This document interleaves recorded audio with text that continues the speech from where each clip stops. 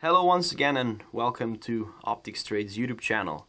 We are going to review Vortex's high-end open reflex red sight today, the Razor. Vortex is still quite a young company, established in 2002. They make all kinds of sports optics for pretty much every need. Their products are made in China, Philippines, USA and Japan and they're known for having a great price to performance ratio. They are also steadily gaining in popularity, partly because of the quality of their products and partly because of their great warranty terms. Razor, as I said, is Vortex's high-end open reflex red dot sight that uses a similar form factor to Vortex Venom. It is 45 millimeters long, 30 millimeters wide, and around 30 millimeters high. The sight weighs 38 grams and it comes with a fixed Picatinny mount which weighs 27 grams.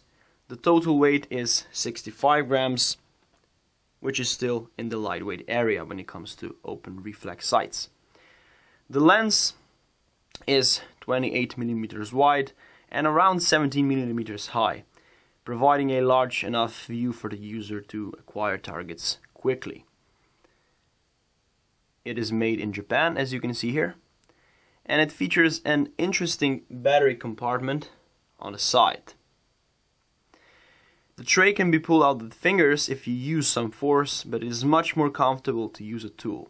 A tool for opening the tray is not provided in the box, so you'll have to be a little bit creative when opening it. You can use a screwdriver or a similar tool. Here I have a tool that you get with some other red dot sights, and with it you can easily uh, pry open the battery tray and you can see that it uses a CR2032 battery. Pretty standard battery so it can be found in every shop mostly. And um, it's also a great thing that the battery compartment is on the side. You don't have to remove it from the firearm in order to change the battery. And re-zeroing is thus also avoided. Two dot sizes are available 3 MOA and 6 MOA. This is the 3 MOA version as you can see here and it is much more suitable for a rifle because of the more precise aiming point while the 6 MOA version will work better on a pistol since it is large enough for the user to quickly see the dot when aiming at targets close by. The construction is very rugged, the housing is made of aluminum and just by looking at it you can tell that this can withstand recoil of any caliber out there. And if we compare the housing with Vortex Venom that uses, uses a similar form factor, this one is definitely sturdier and more robust. And the frame that surrounds the lens is very well made, uh, granting a great protection to the lens that it surrounds. There are two screws as we are used to for elevation and windage adjustments but before making any adjustments to these screws. You have to unscrew the lock screw here. Uh, now you can proceed making the adjustments.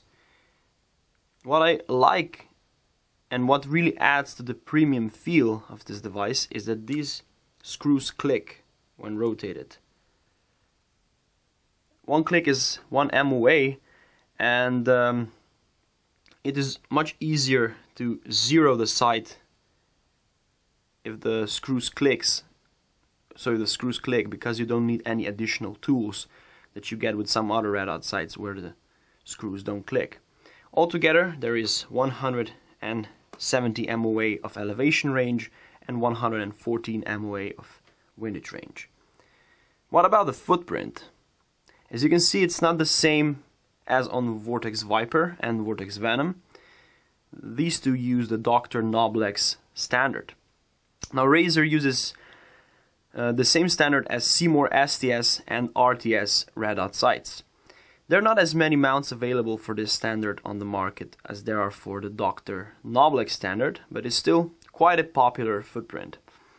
To make things easier, Vortex added a low Picatinny adapter uh, in the box.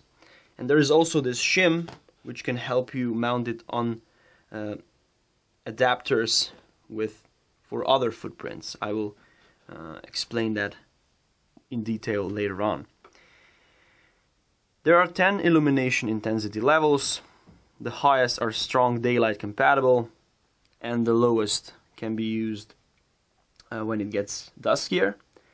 The buttons for setting the illumination intensity levels are located here in between the diode and the lens and I'm not the biggest fan of this design since you have to be careful not to block the beam of light projected by the diode when setting the intensity else you won't see the dot. On the other hand however the controls here are protected from accidental changes so if you bump the side somewhere mm, if you have buttons on the side you might click them and it will change the intensity here they're protected from blows. The side features an automatic turn off after 6 hours of inactivity. The battery life is 30,000 hours on the lowest setting and around 150 hours on the highest setting. The dot is nicely defined and round shaped, uh, but I will show um, the dot at the end of this video so you can just uh, go to that part if you wish to see uh, all the illumination intensity levels. There is some blue tint as you can see and the blue tint is most apparent on the edges of the lens and mostly limited to the upper part. There is no blue tint in the center and compared to Vortex Venom the optics are on a higher level because of the quality of the glass used. Vortex claims that the glass used for this sight is currently among the best that they have at disposal and on top of that anti-reflective coatings are used on Razor. When tested next to Vortex Venom the image is a bit clearer on this one but the difference is really not that huge. So the magnification is a real one times, as you can see, meaning that you can comfortably look through with both eyes open. What we like with Vortex is their great warranty terms, which might convince, uh, which convinces many people to go for their products. And once you choose a Vortex product, you see that they do not only have great warranty terms, but they're also uh, great value for money. So if you ever have a problem with this sight or any of their products, Vortex promises to repair or replace it without without you paying, so free of charge, which is really really great. In the box you'll a you'll find a plastic cover which can be easily put on and removed. You'll also get two Allen keys.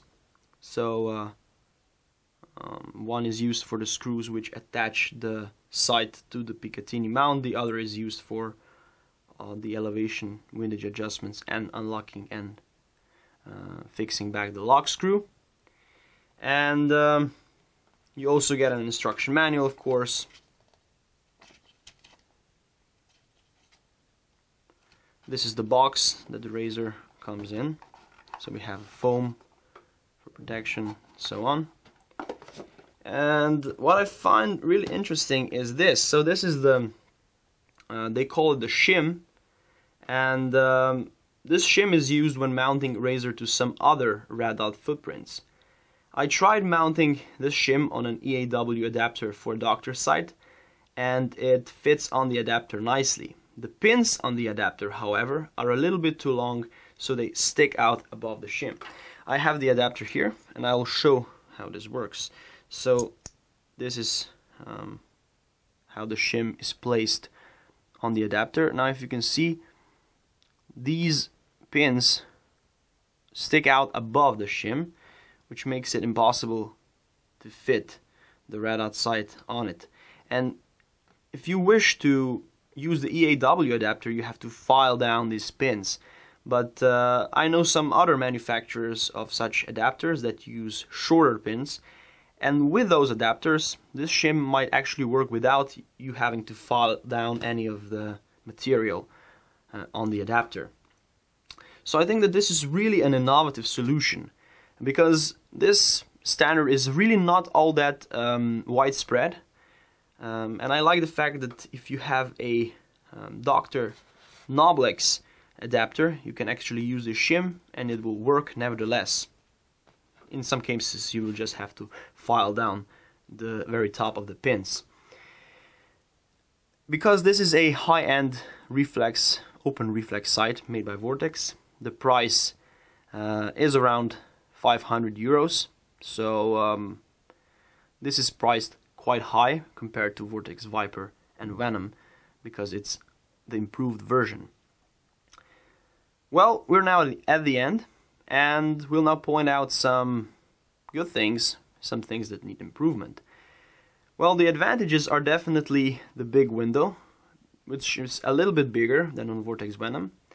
Um, it makes target acquisition much faster. The quality of the image as well, on a high level thanks to the quality glass used for the lens, and the elevation and windage adjustments uh, because they click when rotated, so making the zeroing process much much easier.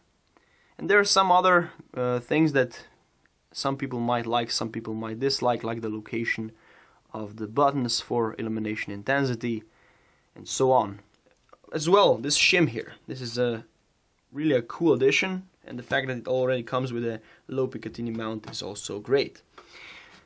Some things that I don't like. Well, some people might say, might think that this is a definitely it's more expensive than other Vortex dot sights and probably too expensive too expensive for some people which is not necessarily a disadvantage but still worth pointing out. The tool for opening the battery tray is not provided. It would be great uh, to provide one uh, because it would be much easier to open opening this tray without actually damaging or leaving scratches on the surface and also um, quite a lot of blue tint on the edges for a red dot sight at this price point. What I can say at the end is that um, this is a definitely a high quality red dot sight. It's very robust, rugged, durable, and if you want to go for top of the line in the field of compact open reflex sights, then this is the right choice definitely. If you're not willing to spend this much, go for the Venom. And you'll still, still get a great, great red dot with excellent warranty terms. Thank you for watching, I hope you found this review useful. If you did, like this video, subscribe to our YouTube channel, check out our other videos on red dot sight made by Vortex, and see you next time. Bye bye!